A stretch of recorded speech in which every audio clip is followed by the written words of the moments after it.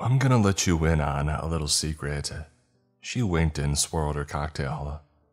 I'm what you might call a search and rescue tourist. Huh?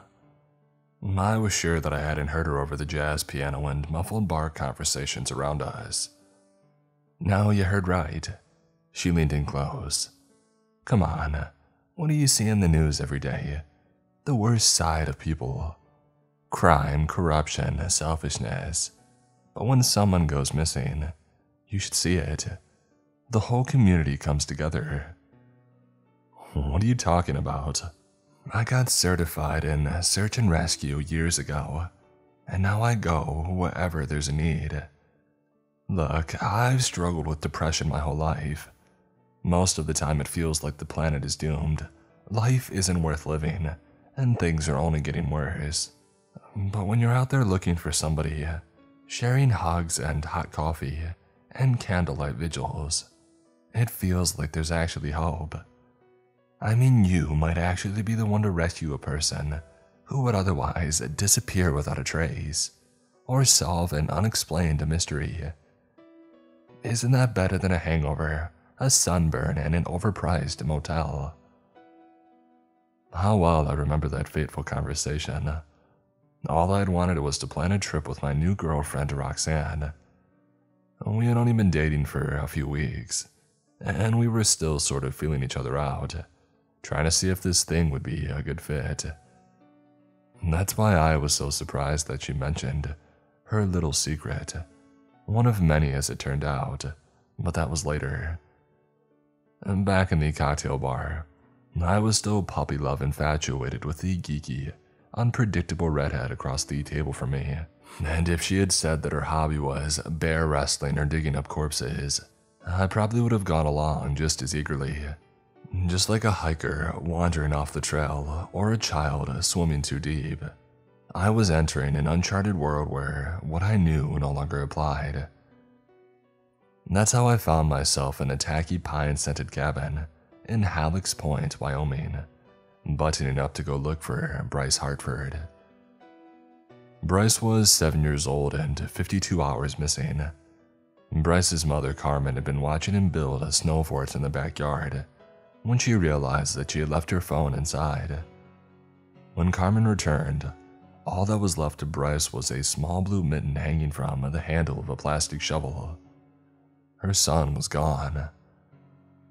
On the drive out to Halleck's Point, Roxanne explained to me that the families of the disappeared almost always respond in the same way, beginning with denial.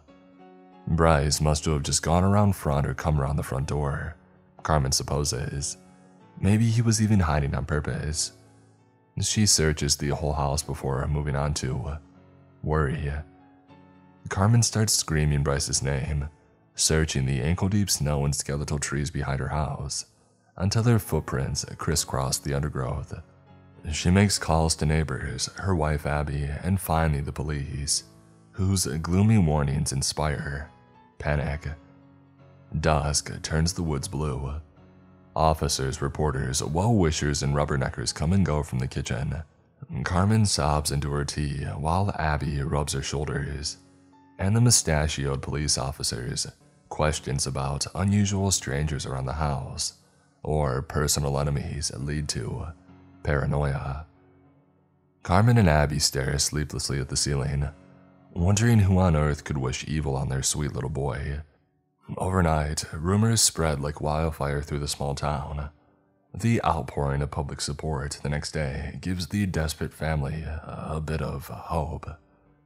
Maybe Bryce just got lost in the woods. Carmen and Abby's property is bordered on three sides by the National Forest after all. And surely, with all these searches and thermal imaging helicopters and handmade posters all over town, Bryce will be found, right? That hope had mostly faded by the chilly morning of our search.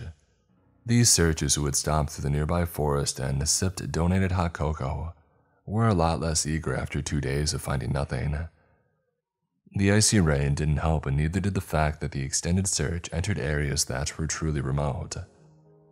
The cliffs out there had an eerie, watchful quality, glowering down on the volunteers while they fought icy thorn bushes, and a swampy mock. When Roxanne and I pulled up to the dirt lot at the end of the forest road, each searcher's face told the same sad story. There's no way that kid is still alive. What on earth are we still doing here? Mm, we didn't say where we had come from. Carmen didn't ask.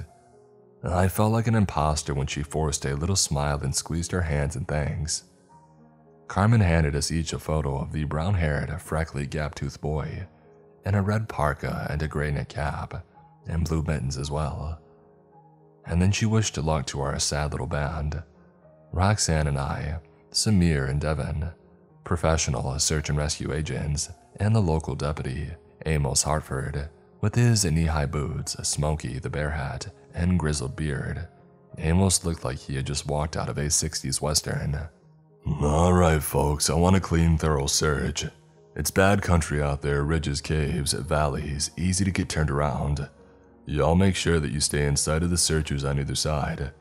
If you look round and don't see the next in line, blow your whistle. Then we'll pause and regroup. If you find anything or have a problem, same thing, um, blow the whistle. Uh, remember, we're going a long way off the beaten track today. Lots of people go missing out there every year. Amos took a deep breath but we find most of them. Let's not give up hope. Move out. Roxanne had insisted that I complete a training course, but what I found at Halleck's Point was nothing like it. The icy woods were too quiet, and this was no simulation. That boy might really be out there. Our lonely voices echoed from the cliffs, and I realized that I was spending more time trying not to get separated from the group than actively searching for traces of Bryce. The forest was riddled with narrow crevices full of leaves and slippery cliffs. It was all I could do to keep my footing, and each step made it obvious that if a seven year old fell out here, he would never be found. The first time I looked to my left and didn't see Roxanne in her bright orange vest, I panicked. Not for her, I'm ashamed to say, but for me. Although I told myself that I was keeping track of our position, the truth was that I had no idea how to get back to the forest road, and I was already sniffling and shivering despite my winter clothing. If I got left out here after nightfall, I heard four other whistles answer my call. Like magic, Roxanne and Samir appeared among the boulders ahead. I had simply blundered into a shallow ravine that blocked visibility on both sides. Roxanne looked disappointed, Samir looked worried, and I looked like a fool. Roxanne and Samir said that it was fine and that I had done the right thing, and although I'm sure they sincerely meant it, I was furious with myself. I had cost us and Bryce a precious time. I resolved not to do it again. Until I separated myself from the group again, not even an hour later. I had a good excuse, or at least I thought I did. A rustling came from the bushes ahead, and I'd swear that I saw the flash of a child sized red parka and a gray knit cap disappear into the reeds of the swamp. I forgot all about my whistle. I gave chase. Bryce! I yelled as we had been yelling all day.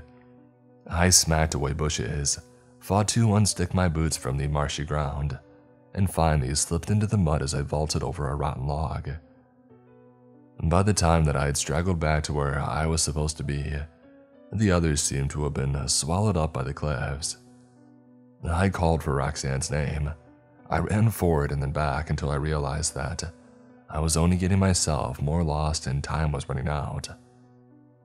I blushed when I blew the whistle for the second time that day. Everyone came running, even Deputy Amos and Evan from the far ends of the line. None of them said so, but I could tell they all felt annoyed and let down. Welp, Deputy Amos spat. Might as well break for lunch then. We settled onto the cold rocks to eat our cold sandwiches in a cold wind, and for the most part, we ate in silence except for Roxanne. Her conversation with Deputy Amos sounded more like an interrogation and a few parts stuck out to me later. You must not be used to this, Roxanne sighed. Halleck's Point seems like such a quiet little town. Yeah, Amos grunted. Mostly. Mostly, huh? Roxanne pressed. Trouble in paradise. Well, this ain't the first kid who's gone missing. There was a girl back in 97, uh, on the other side by the cattle ranches, just vanish into thin air. Do you think the two are related? Why? Amos finally replied after a long pause. Do you? At this, Amos gave us both a long, hard look. It felt like there was a warning in those flinting eyes. Where did you say y'all was from again? Back on our sore feet, we continued deeper into the woods. A few hours later, however, something more than blisters was bothering me.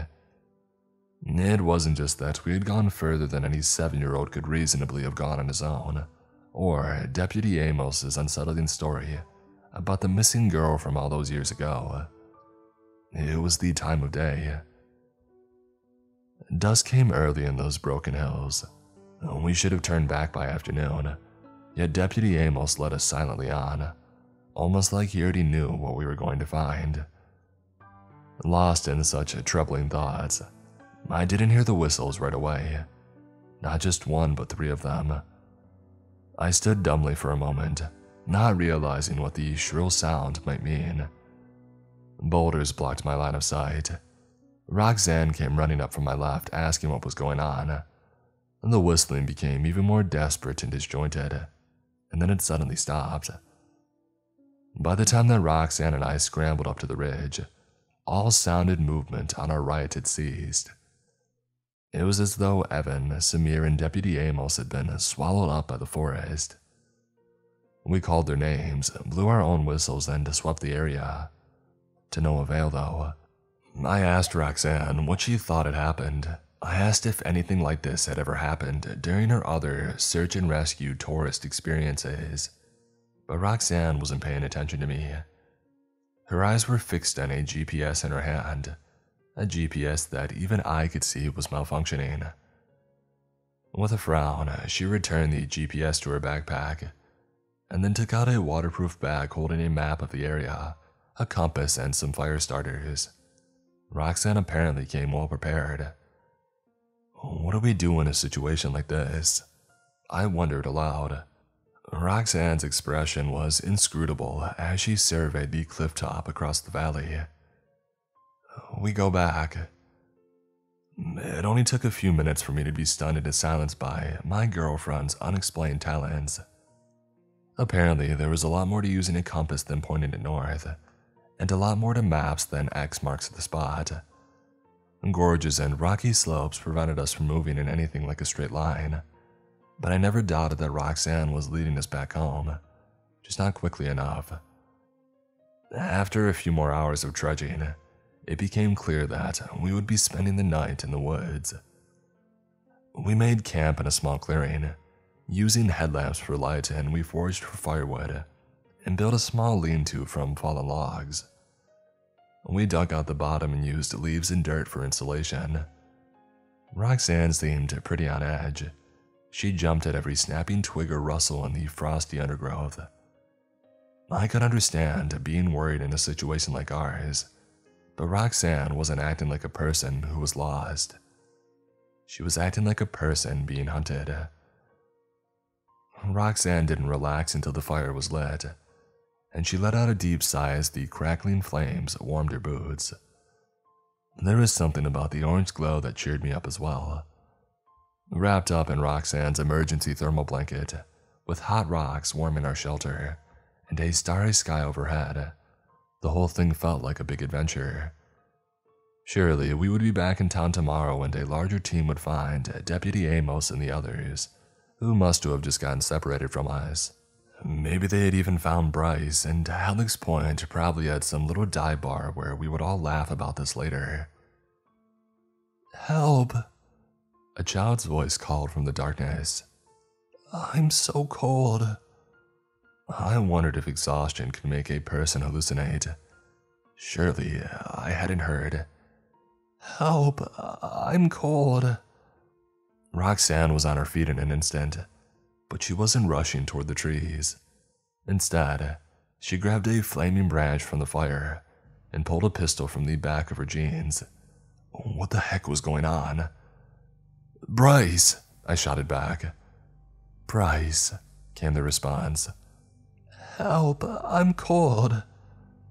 Even with the beam of my headlamp, I couldn't find the source of the voice out in the dark trees.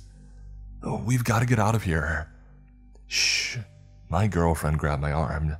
Shut up and stay put, all right. Oh, please help. I'm cold. I'm so cold. Bryce.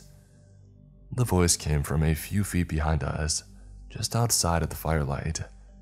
We both spun around, but our shaky headlamps revealed nothing more than bare dirt. Bryce, I shouted. Don't worry, it's gonna be okay.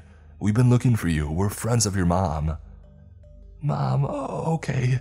Please help, cold. Please help, please help, I'm cold. Bryce, looking for mom. What are you doing? Roxanne hissed. That isn't Bryce. Who else could it be? I almost laughed. With my headlamp bobbing, I ran into the trees toward the source of the voice. Wait, Roxanne called, but I wasn't listening. I was following my fantasies into the dark. This was my chance. Instead of being the blundering idiot who had halted the search for nothing three times and left the group, I would be the hero who actually found Bryce. More so, I thought, until I had gone so far into the underbrush that our fire was a candle flame in the distance. There was no sign of Bryce or Roxanne, and in the frigid and absolute silence, I realized the depths of my mistake. It sounded like three gunshots, a strangled cry, and then silence.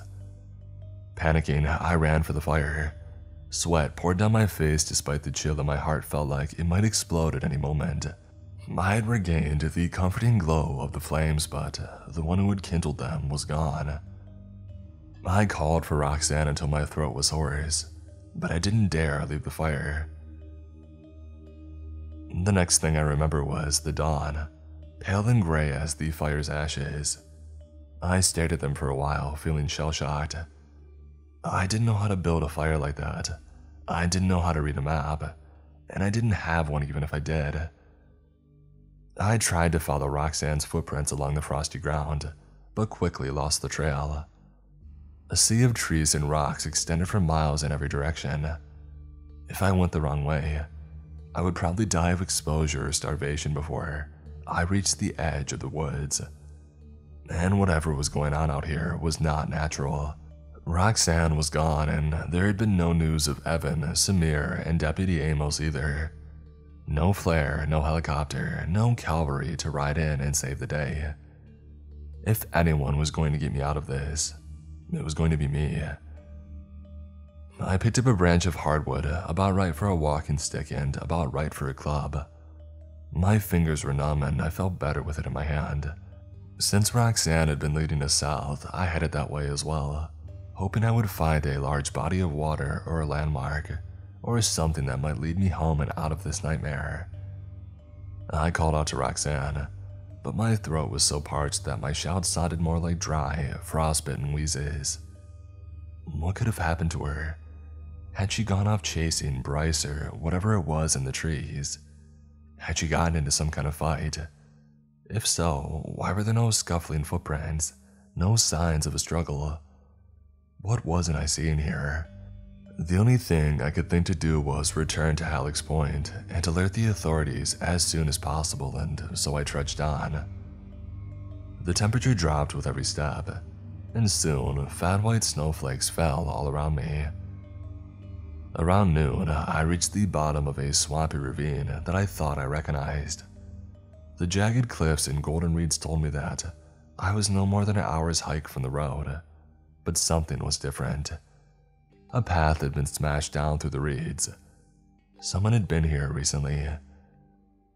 I was hearing my heartbeat in my ears, but I didn't know what was on the other side of that trampled mock. The reeds and brush rose higher than my head, creating a kind of tunnel. It led to the blackness of a knee high cave, a cave that opened at the bottom of the cliffs like a toothless grin. Something, uh, I don't know what, made me want to approach silently. No good. Sticks split underfoot with each step. And beside me came a loud crackling, followed by shrieks of two birds taking off in the reeds and nothing more. My heart was in my throat. The mouth of the cave ahead had been stuffed with logs, sticks, and leaves. It had been dug out as well. It was a kind of nest. Hello? A voice whimpered from the darkness. Hey there.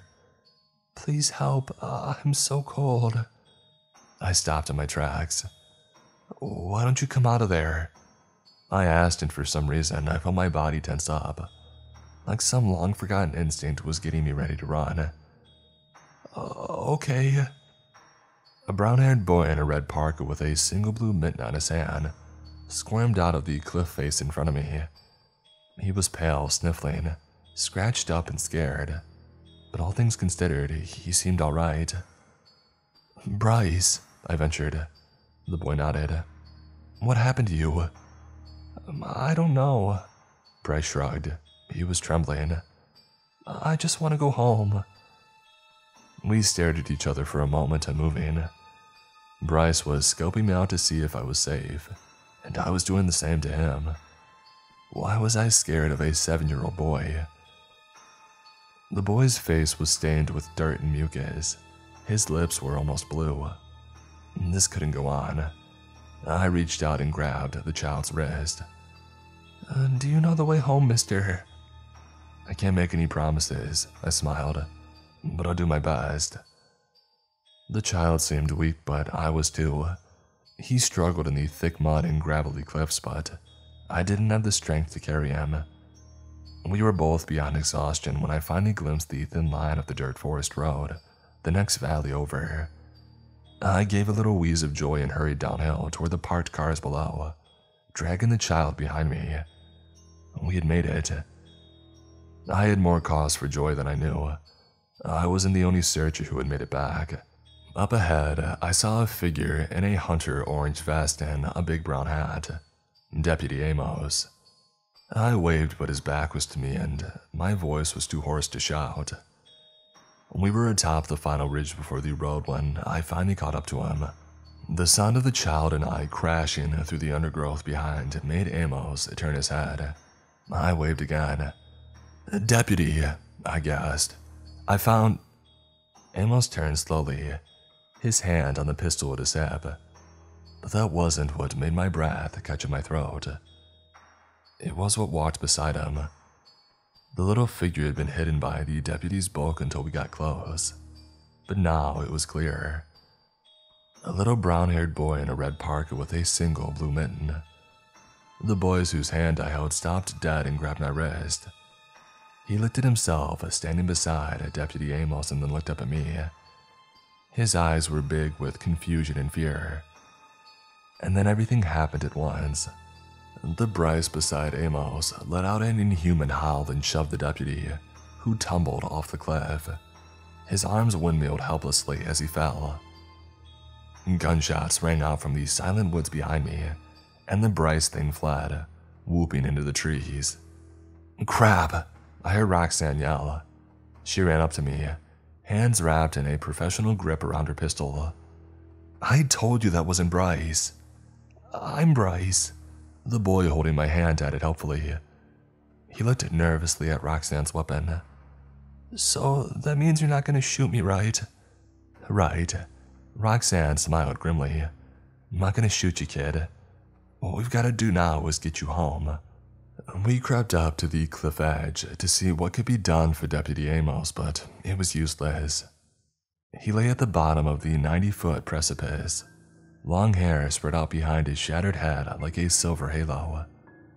I covered Bryce's eyes before he could peer over the edge. All around us, the hills echoed with strange noises. They were identical to the sound the Bryce thing had made a weird mix of a whoop and a howl.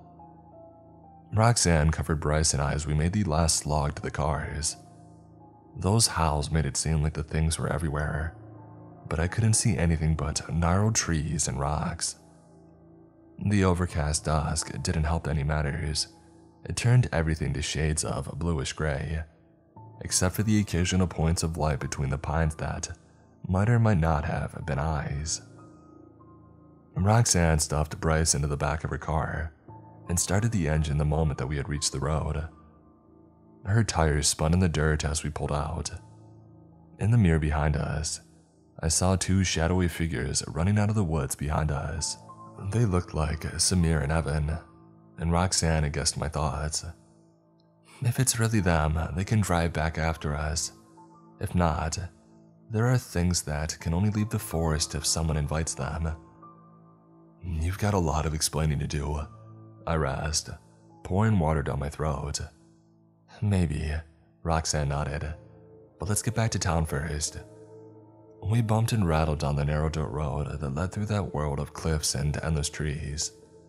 Bryce dozed fitfully in the back seat, his tiny hand wrapped around the half-eaten energy bar that I had given him.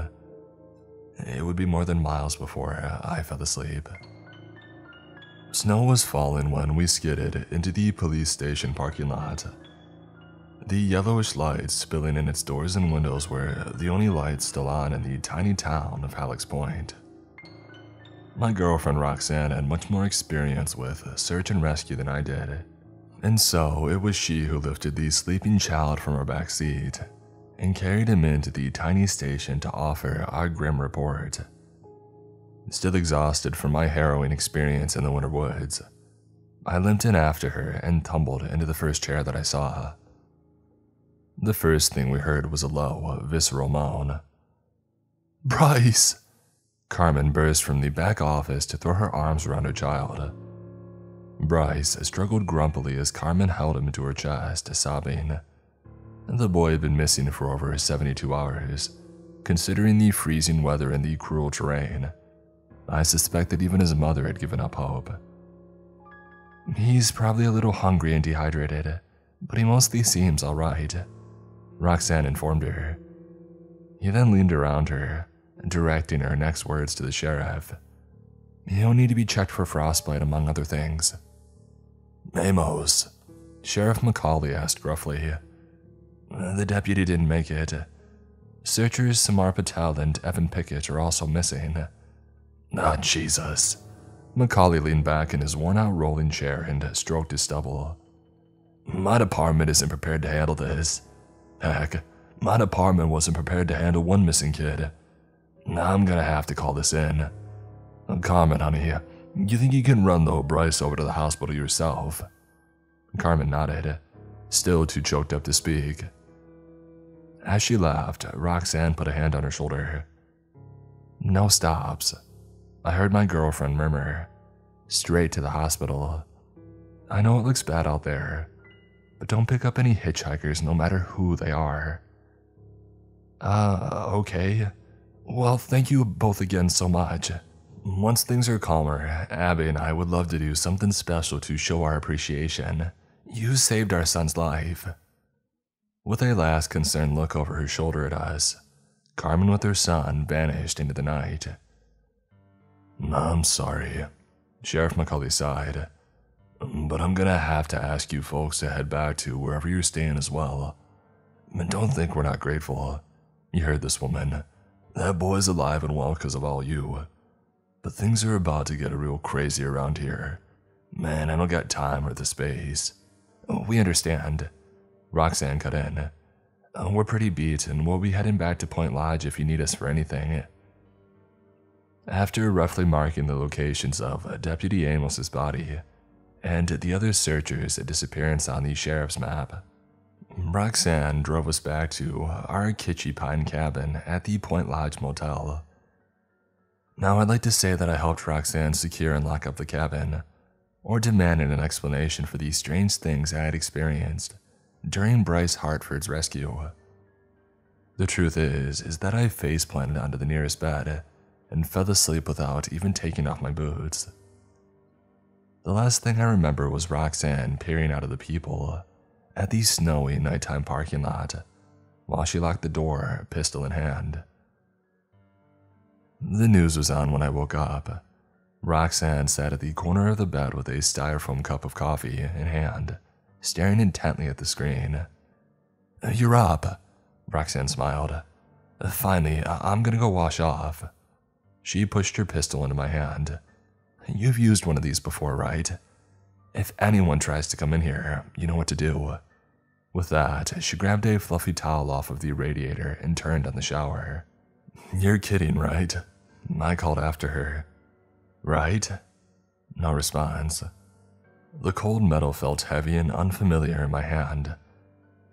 I sighed and tried to focus on the television, but each time I saw movement on uh, the other side of the transparent curtains, I expected some awful thing to come for us. I didn't even know what I was afraid of. The boogeyman, maybe. Some big, shadowy figure that would smash through the flimsy pine door and drag us away to dark places. Finished with her shower and dressed in PJs, Roxanne came back to the bed. Helicopter views of the wilderness we had trudged through played on all the local channels. Deputy Amos's death was the top story, along with our disappeared fellow search and rescue volunteers, Samir and Evan. Samir and Evan, I grunted. I thought I saw them on the edge of the trees just before we left. You saw something at the edge of the trees, Roxanne clarified. Something that might have looked like Samir and Evan, but it wasn't. With one last nervous look at the door, I gave Roxanne her pistol back. What aren't you telling me? I demanded. Why does a search and rescue volunteer need a gun? My girlfriend looked thoughtfully at the pistol and then sighed. She seemed to have made up her mind about something. I didn't expect to encounter them on your first search, Roxanne explained. I thought that I would have more time to train you in the basics of survival and navigation, so you would already be used to it when, well, it doesn't matter now. You've seen them now and there's no going back. Maybe this is for the best. It might make what I'm about to tell you a little easier to swallow. An 11 year old girl and her family stopped for lunch at a secluded mountain lake. Seems like a perfect spot. Mom can back her SUV almost down to the shore. Dad has a view of the mountains while he barbecues off the tailgate with his portable grill. While her parents fix lunch, the girl goes for a swim. She rolls her eyes when her parents make her bring a flotation device. They wouldn't let her even dip a toe in without one. There are rumors of a strong currents and deep pits beneath the cheerful, bright blue water. At first, mom and dad look up any time they heard their daughter squeal or scream. After a while, though, they dismiss it with a knowing smile. She's a preteen girl after all, uh, splashing around in water so cold and clear she can see the fish beneath her toes.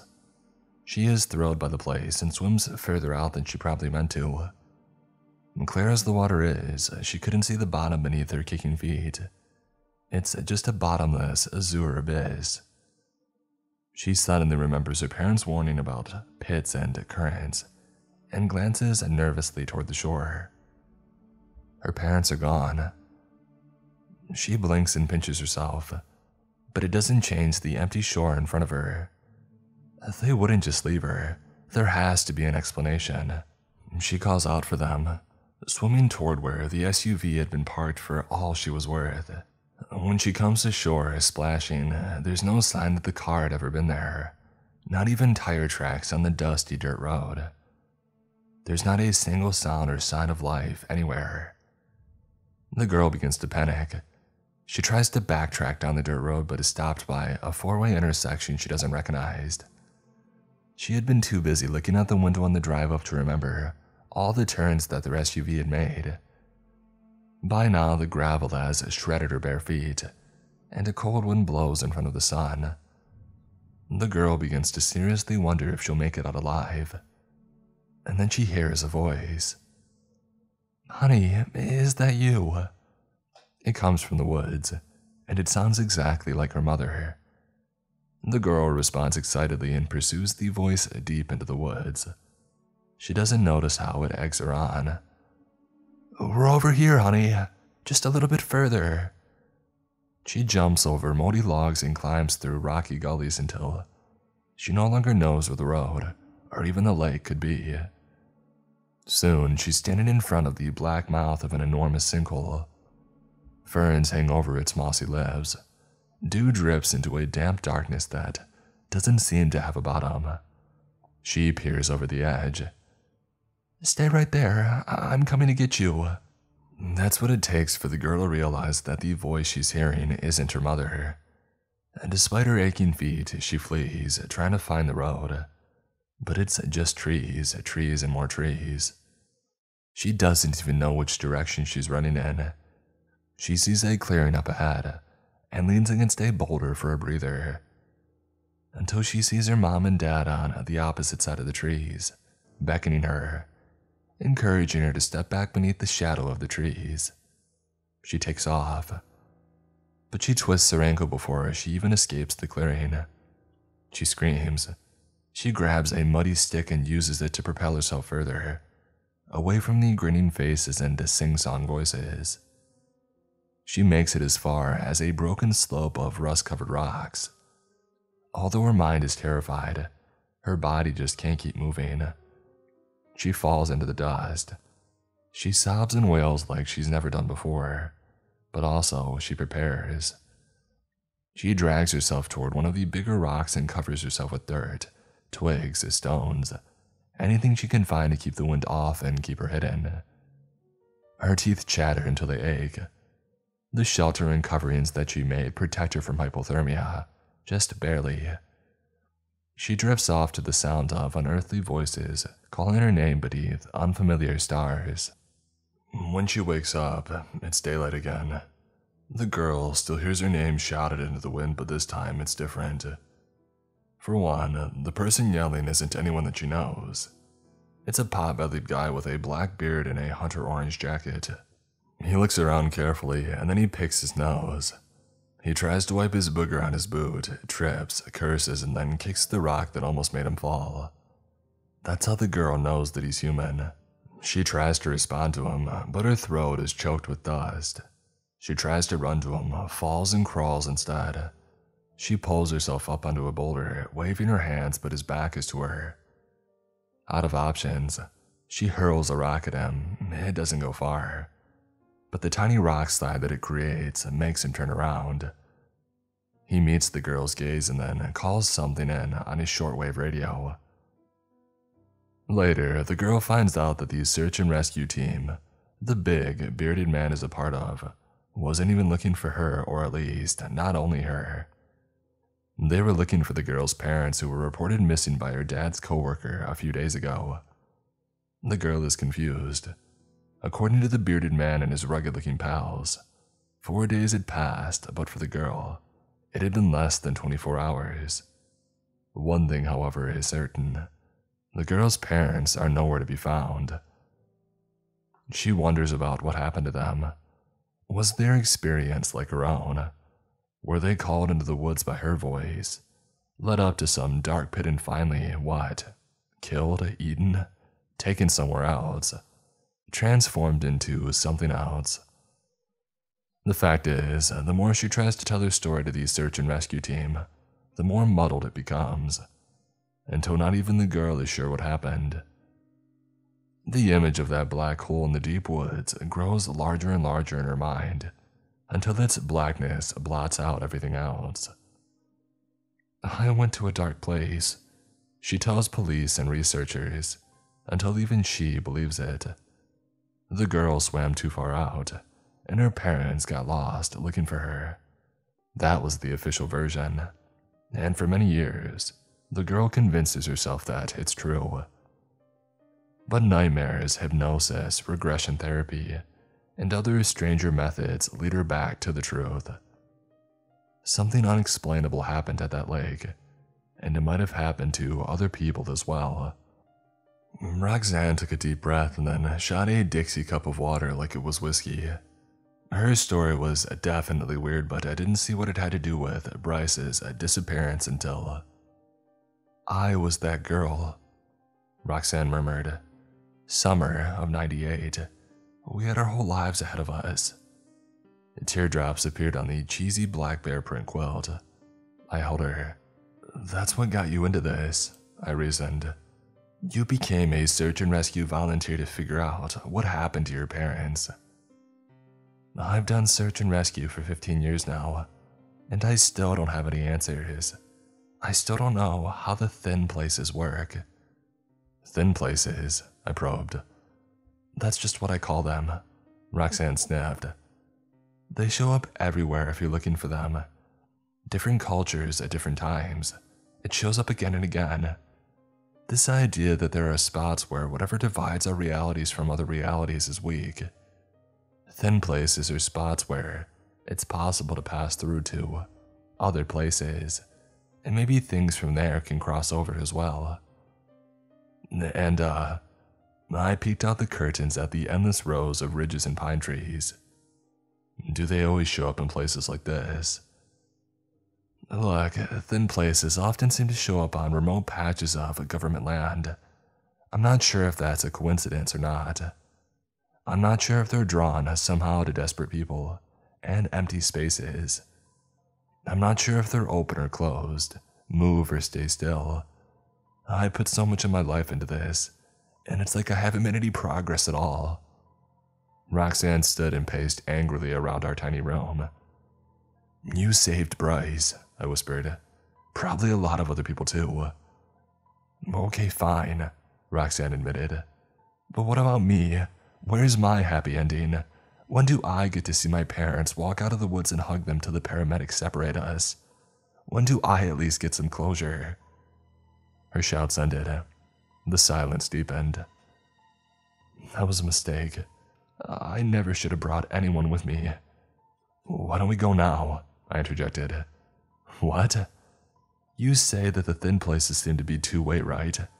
And if Samir and Evan, or the things pretending to be them, are still running around out there, the gateway must still be open. So let's go. Not to rescue anyone, not to bring back proof, just to see if there's anything we can learn about what happens to people who end up there. People like your parents. How long have I known you again? Roxanne crossed her arms skeptically. Look, I appreciate the gesture, but I don't really think you understand what you're offering. I mean, even if we find a way to cross over, it's pretty likely that neither of us will make it back. It's crazy, I know. I've been over repacking my gear and tossing Roxanne the keys. Which is why we better get out there before I change my mind. It was an odd feeling, trying to find the place where we had been lost before. As Roxanne parked along the side of the dirt road where we had searched for Bryce, my eyes drifted to the tree line. I remembered how the things that looked like our friends had lingered there, just beyond the reach of light. How their eyes seemed to glow as red as the taillights as we fled.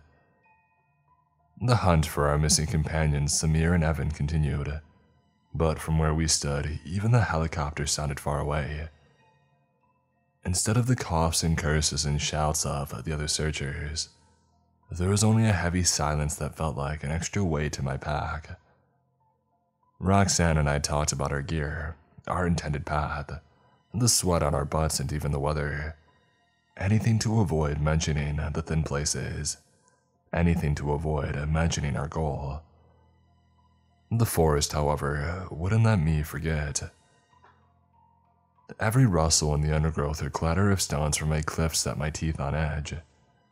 Roxanne had done search and rescue enough to distinguish important sounds from unimportant ones.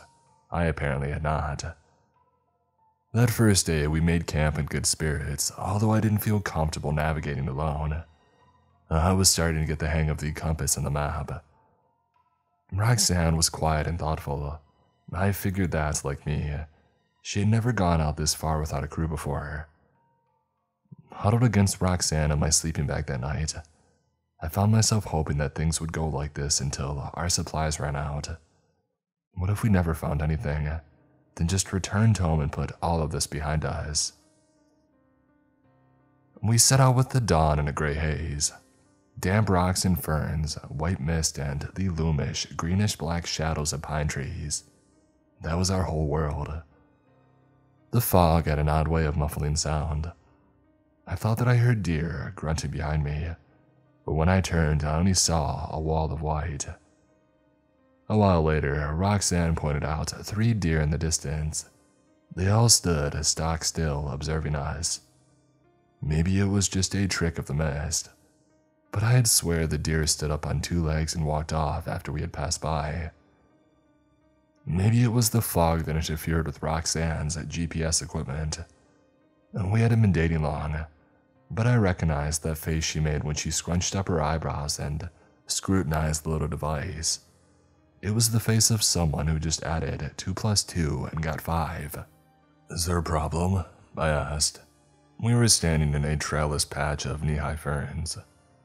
The mist had lifted, but the bits of sky beyond the trees were still a sea of gray. GPS is malfunctioning. Roxanne grunted. It's happened before, usually when we're close, I finished. Yeah. Our little conversation felt swallowed up by the size and silence of the woods around us. Roxanne took a deep breath, checked her map and compass, and trudged forward. We had gone a long way by the time we realized that the compass couldn't be trusted either. I stared as stupidly at the needle while it spun freely. Roxanne and I scanned the trees around us for a direction, a landmark, anything, until our eyes settled on uh, Samir's hunter orange jacket. Hung high on several branches with the arms extended, it looked like the torso of a crucified man. Who or what had put it up there, I wondered and why. Let's keep moving. Roxanne tugged at my sleeve. I don't know about you, but I don't relish the idea of spending the night with that thing hanging over us. She was right. It was already dusk, and a twisted ankle could be fatal out here. Roxanne headed uphill, hoping to find an open ridge where we might get our bearings. It would have to wait until the morning, though, because stars were twinkling overhead by the time that we found a spot to camp. They're beautiful, aren't they? I started uh, looking into the cosmos above us. Mm, it's like you don't really see the night sky until you come out to a place like this, you know. That's because this isn't our night sky, Roxanne sighed, not even turning away from the tent that she was setting up. What? I know how to navigate by the stars. Those aren't our stars. I felt the blood rush to my face. But don't be afraid, Roxanne went on. I'm not a kid anymore. This time we came to this place by choice, wherever it is. We can leave the same way. We have to believe that. Do you believe it? I do, I nodded. I didn't. Well, then let's get some sleep, cause from this point on, I don't know what we're going to find. The next morning, it was what I couldn't find that made me panic. Where was Roxanne? I had a fuzzy memory of her rustling around in the dark, slipping away outside of the tent. The sky was still gray. Nothing but trees and stony ridges as far as the eye could see. And no Roxanne. The wind whipped around me and I shouted her name. What? Roxanne emerged from behind a tree, pulling up her pants. You look like you've seen a ghost. No, it's just. I trailed off. Something was bothering me, but what? I could have put my finger on it. Nothing, I guess. Let's keep moving. Roxanne and I usually discussed our route, but not that day. She set off downhill so quickly that I struggled to keep up. Where are we going? You'll know it when you see it, Roxanne snapped. I got some idea of what she meant as we walked. The landscape was subtly changing as we walked. Instead of rugged mountains, it was taking on the shape of what might be found around a California lake. A lake like the one where Roxanne's parents had disappeared to. Gray rocks turned to a dusty red. Tall pines were replaced by shrub and cacti. Roxanne, what's going on? I shouted over gusts of arid wind. We're getting close. I could barely hear her reply over gusts of arid wind. They seemed to come from everywhere all of a sudden, pushing us forward toward a cave. A black hole surrounded by dripping ferns, the nightmarish pit from Roxanne's story. If it was really Roxanne leading me here, I froze. Back at the campsite, had I checked to be sure that it was really her and not something else? Suddenly, I wasn't so sure. Roxanne pressed ahead, but I lingered, wondering if I had made a terrible mistake. Found you! I jumped and spun and slipped on a wet root, and nearly fell into Samir's chest. He gave me a big grin. Why was he still wearing his orange vest? We had seen it, name tag and all hanging from a tree. Found you, Samir said again, his smile widening. Found you! Three pistol shots. Samir's head split like a melon. I screamed. Roxanne had just killed someone, or had she? Samir, or the thing that looked like him, didn't seem to be bothered by having his head blasted in half. It stood there patiently, repeating the same words over and over while smoking bits of skull and brain matter dripped down its visible throat. Teeth fell out of its shattered jaws as it spoke, but it didn't stop. Found you, found you. Its shrieking gurgle reached a fever pitch that echoed all around us. I looked down at its hands. The fingers splintered, and then shot towards us some shooting through the air like vines, others slithering along the dirt for our legs like obscene snakes with dirty fingernail faces. Run! Roxanne shouted, firing two more useless shots into the thing's chest. As it lurched forward, I felt one of its freakishly long fingers slither around my ankle. I moaned, stopped, and kept sprinting, although I could see that it was hurting us toward the pit. Its dark abyss beckoned to us both. It was the feeling that I had had many times before standing on a high ledge. That little voice that whispers to jump and see what might happen, magnified by a thousand. It was like the land itself was shifting, sucking us in. Roxanne, running a bit ahead of me, noticed it first. The feeling that the ground beneath our feet had become too steep to turn or halt our descent. Her red ponytail flashed for a second as she spun, mouth open to warn me, and then she was gone, devoured by the blackness. I couldn't have stopped even if I wanted to. I grabbed at stray roots and plants, but my fingers slipped away. I was in free fall. All light disappeared. And then I was out again. Somehow walking up the same impossible slope that I had just fell down, into the same bizarre clearing. The weird physics of it all made me so dizzy that I fell to my knees on the damp ground. Treetops were spinning overhead. And I shut my eyes tight. When I opened them again, the colors felt wrong, the air tasted different, and I wasn't alone. Ahead of me, Roxanne, too, grabbed at fistfuls of dirt and raged. A familiar looking figure watched over her. So familiar, she looked like a slightly older version of Roxanne. Her mother, and the slim, mustached man in plaid, her father. If their clothes and age were any indicator, the pair hadn't changed at all since they had disappeared. I've.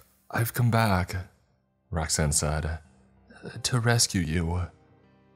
Rescue us? Roxanne's mother laughed. No, it is we who are rescuing you. Darling, Roxanne's father explained kindly. Where you're from, your body will grow old, get sick, and die. You're bound to one form. Here, there is no death, only endless rebirth.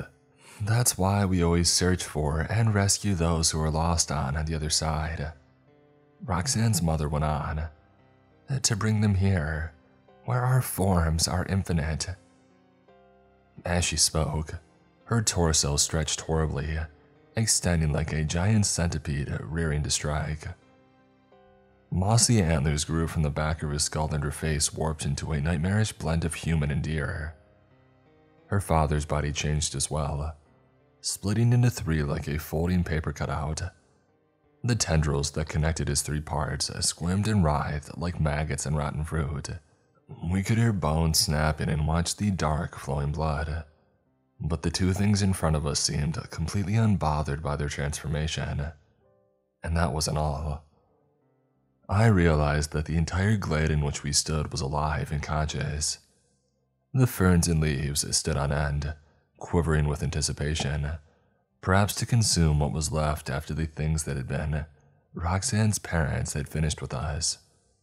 The trees, too, creaked and leaned forward hungrily, Old men bending over their dinner table. Winged things settled onto the branches, and other, less describable forms twisted themselves out of the mossy ground. The ground. Even the dirt beneath our feet was shifting, closing the gap to the world that we had come from. Roxanne's parents' speech and transformation had just been a ruse to distract us while the way was shut. I staggered forward on the uneven living terrain, grabbed Roxanne's hand, and hurled myself toward the closing pit. The pit had been enormous, but it was barely shoulder wide when I passed through, even tighter for Roxanne. Dirt closed in around us, and I felt Roxanne's wrist slipping through my fingers. I clawed in the powder dirt in front of me and realized that the physics had changed. I was clawing up instead of down. Spitting and hacking, I pulled myself into the ferny grove and did what I could to dig Roxanne out. I had barely cleared room for her to breathe when I felt something wrap around my ankle and pull. The forest wasn't letting us go. Whatever had grabbed me also had Roxanne. Her green eyes widened as she was dragged back into the loose earth. I watched her twist and flail as she disappeared. The grasp on my ankle released. I screamed my girlfriend's name and dug at the loamy soil, but she was gone, swallowed by the other side. I dug until my fingernails were black and bleeding, until I had no strength left in my arms and I rolled over, filthy and exhausted, to stare up at a cloudy sky that was only just beginning to clear. It's you.